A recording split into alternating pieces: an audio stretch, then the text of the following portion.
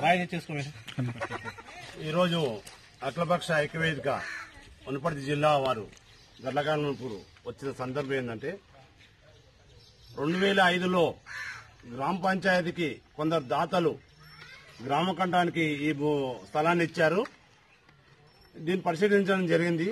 ఇక్కడికి వచ్చి చూస్తే అప్పట్లో జరిగిన డెవలప్మెంట్ గ్రామ పంచాయతీకి ఇచ్చినాక గ్రామ కంఠం కిందకి వస్తుంది ఈ భూమి.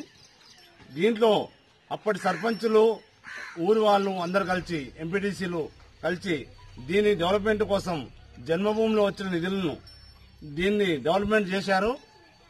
కానీ తదనంతరం కొందరు స్వార్థపరులు అధికారంలో ఉన్న వాళ్ళు అనుకుంటాను దీన్ని మొత్తం కూలగొట్టి స్వాధీనం చేసుకోవాలి. ఇప్పుడున్న రేట్లు చాలా పెరిగినాయి.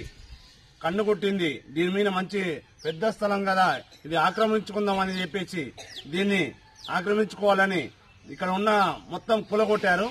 ఈ కూలగొట్టడం అనేది అనైతికం. చట్టపరంగా ఇది ఒక నేరం.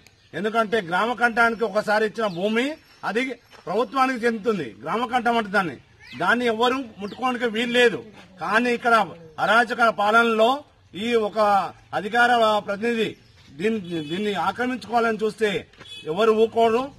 గ్రామస్తులను అక్కడ అధికారులను ఉపయోగించుకొని గ్రామస్తులు ఇచ్చిన కంప్లైంట్లు ఎవరు లెక్క చేస్తలేరు? దీనిపై మేము అఖిలపక్ష ఐక్యవేదిక సోమవారం రోజు కలెక్టర్ని కలిసి అందరి అధికారులకు ఇస్తాము. కలెక్టర్ గారు చర్య తీసుకోకుంటే మేము పైనున్న అధికారులకు తర్వాత లోకాయుక్తకు పోవడం జరుగుతుంది. ఈ స్థలాన్ని కాపాడి ప్రజలకు ఉపయోగకరంగా ఉండాలి.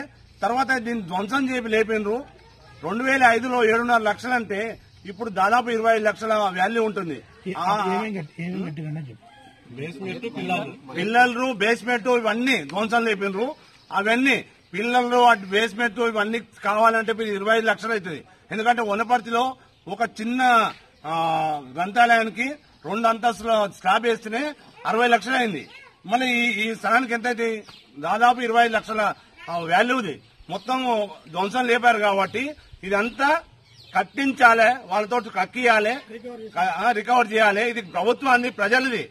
ఎవడో ప్రైవేట్ వాడు వచ్చి ప్రతి అది వాడు గెలిచేది తట్టమట్టి ఏనికే. తట్టమట్టి తీసుకోమని కాదు గెలిచేది. గ్రామానికి ఏం చేయాలంటే వానికి ఇష్టం ఉంటే వానికి వానికి గెలిపించడానికి ఏదైనా సాయం చేయాలి అభివృద్ధి చేయాలి. కానీ ఇలా చే- చేయడానికి లేదు. చట్టరీత్యా నేరం కాట వాళ్ళ